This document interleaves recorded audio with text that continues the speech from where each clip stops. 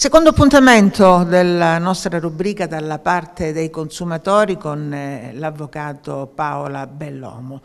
Io vorrei parlare in questo appuntamento delle bollette eh, perché parliamo di bollette pazze, perché parliamo eh, di bollette che arrivano alle famiglie e poi molte volte viene detto che queste famiglie non pagano la bolletta e quindi sono morose.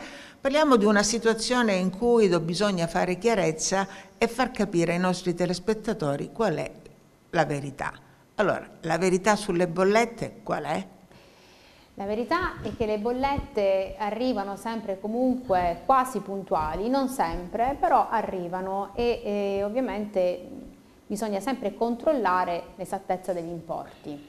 In particolar modo mh, ovviamente eh, le bollette dobbiamo fare c'è un mondo, quindi bisogna fare delle distinzioni, abbiamo bollette di luce, bollette di gas, bollette telefoniche e bollette di acqua e molto spesso ovviamente queste utenze seppure sono rappresentate alla fine dei conti con la bolletta, spesso e volentieri sono sostanzialmente molto diverse perché le forniture seguono un regime normativo completamente diverso, quindi abbiamo uh, un, delle leggi che riguardano la fornitura di gas, leggi che riguardano la fornitura di energia e così dell'acqua.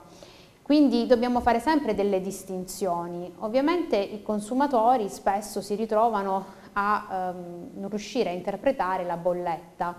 E questo è uno dei problemi più sentiti nelle famiglie, eh, un sacco di voci, è, è impossibile districarsi. E molto spesso infatti eh, tra le domande eh, che più spesso mi vengono fatte dai consumatori è riuscire a capire come mai ehm, i consumi sono poi relativamente bassi rispetto ad altre voci di spesa che risultano molto più onerosi, ma eh, bisognerebbe comunque fare delle distinzioni ed essere più specifici in questo.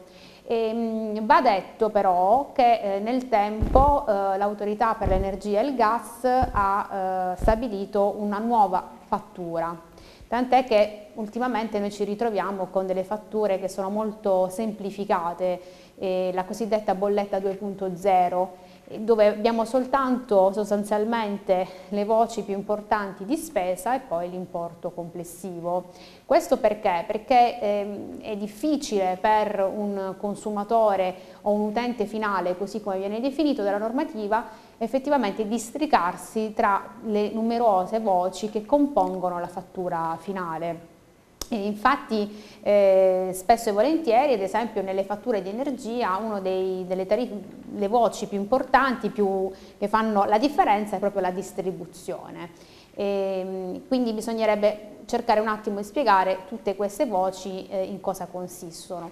Uno dei problemi più sentito nelle famiglie riguarda proprio invece quelle che sono le eh, bollette anomale, quelle che sono le bollette cosiddette le bollette pazze e le bollette pazze a volte sono bollette dove ci sono degli errori effettivi oppure ci sono le cosiddette bollette di ricalcolo, che sono quelle bollette dove a un certo punto vengono eh, ricalcolati importi anche abbastanza vecchi. Ecco, il ricalcolo è sicuramente un, uh, un sistema che mette spesso e volentieri in difficoltà eh, l'utente, eh, il cliente che insomma si vede arrivare questa bolletta pazza? Beh, ricalcolo sì, perché a un certo punto ci si ritrova con fatture molto esose, proprio in questi giorni ne ho vista una di 15.000 euro, eh, dove c'era un ricalcolo a partire dal 2009, però cerchiamo di essere chiari sul punto.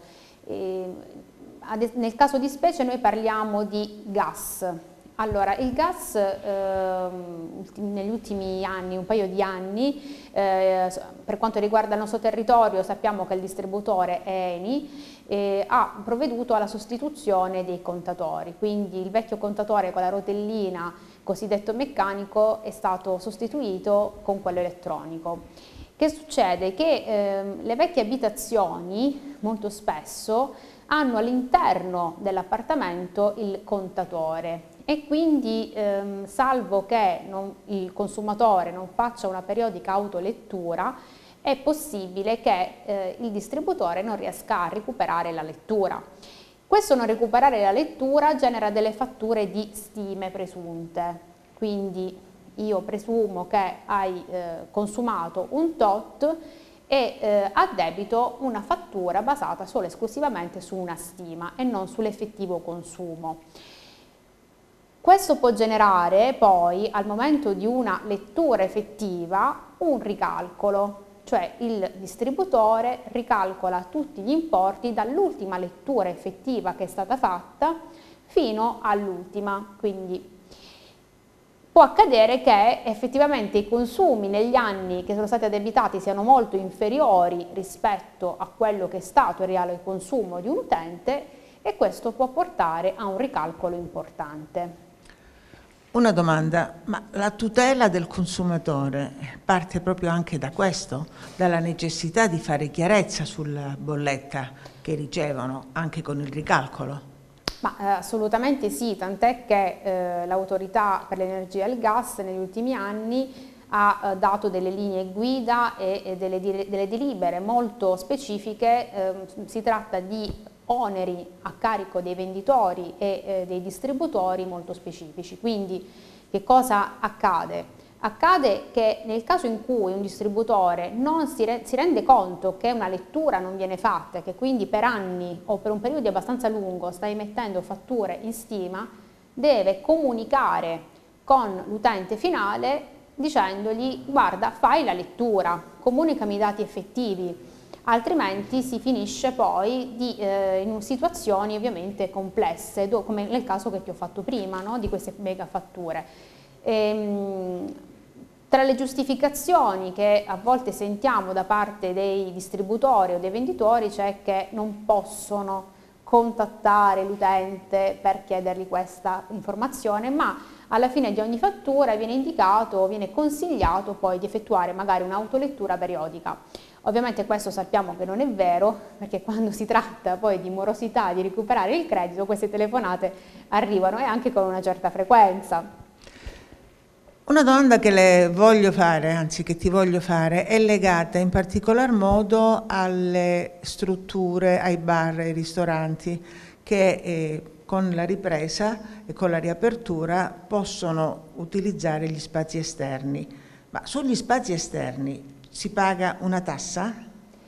Beh, eh, sugli, spazi, sugli, spazi, esterni sì, sì, si paga una tassa che in questo momento è sospesa, che è quella di occupazione del suolo pubblico, in questo momento è sospesa però perché sappiamo che eh, per le normative anti-Covid eh, ai commercianti è stata eh, data la possibilità di eh, avere i tavoli solo esclusivamente all'aperto e quindi la possibilità per un certo periodo di non pagare eh, la tassa per l'occupazione del suolo pubblico.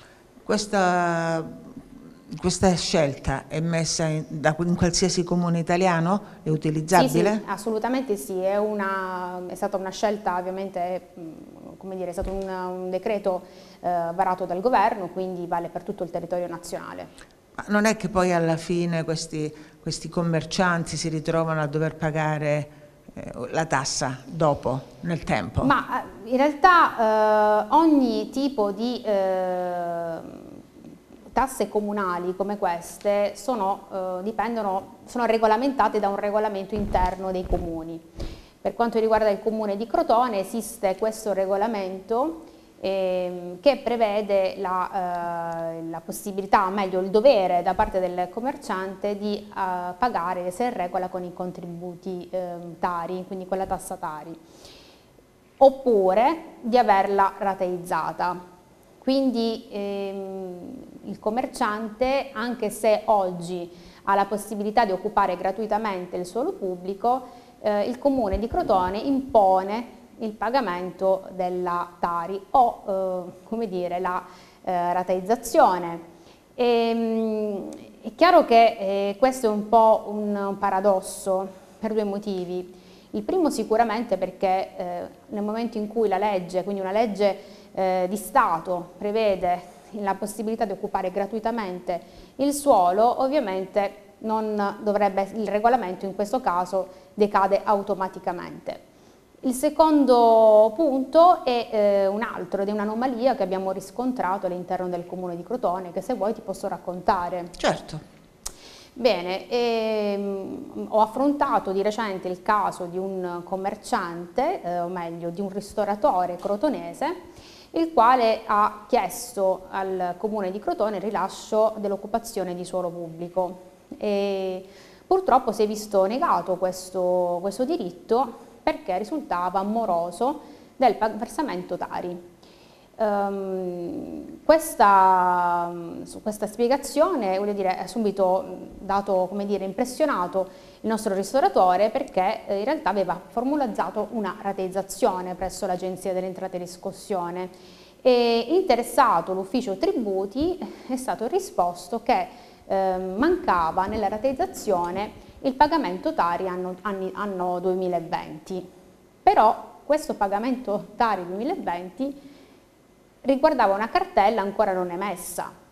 E ci si è chiesti allora come si potesse risolvere il problema, se il comune poteva fare una reteizzazione indipendentemente dall'Agenzia delle Entrate e Riscossione, ma è stato risposto di no, nel senso che il comune non può fare un piano di rateizzazione, bisogna comunque aspettare che l'Agenzia delle Entrate e Riscossione invii poi una cartella. Una cartella che sappiamo che eh, al momento c'è la sospensiva, quindi fino al 30 aprile tutte le cartelle in emissione sono sospese e non sappiamo quando verrà genera generato il, il ruolo di questa, di questa, cartella. Quindi i ristoratori, come quello che, eh, di cui vi ho raccontato, rischiano di non poter aprire perché non viene dal Comune di Crotone rilasciato il eh, diritto a occupare il suolo pubblico eh, se non hanno pagato un qualcosa che ancora non esiste, cioè se ancora non hanno pagato una cartella che ancora non è stata emessa. Eh, L'ufficio tributi di Crotone, come dire, conveniva con il fatto che si trattasse di un paradosso, di qualcosa di, mh, di una norma che in qualche modo andava un attimo eh, rivisitata, però pare che queste siano le direttive al momento eh, del Comune che ha proprio previsto di eh, fare cassa eh, in un momento, insomma, una, si tratta di una sorta di ricatto perché chiaramente in questo momento nessun ristoratore può lavorare al chiuso, quindi io ti ricatto sostanzialmente, cioè mi devi pagare tutto quello che puoi pagarmi eh, se vuoi occupare il suolo pubblico. Quindi diciamo che nel momento di crisi che si sta vivendo e quindi questa riapertura che è diventata fondamentale per un eh, sospiro, dobbiamo dire, di sollievo per la nostra economia, ci sono tanti problemi, perché a questi problemi ci sono poi quelli delle bollette e quindi eh, ci ritroviamo sempre più giù. E, ehm, diciamo che ci troviamo in una situazione dove c'è mm, un conflitto di interessi, dove il comune sostanzialmente non, non va in questo momento incontro ai suoi cittadini perché una ripresa economica equivale anche a una ripresa eh, di tutto l'apparato economico all'interno di un comune. E, ehm, invece eh, si assiste più a un, un ricatto che sicuramente va a impoverire il tessuto economico del nostro territorio.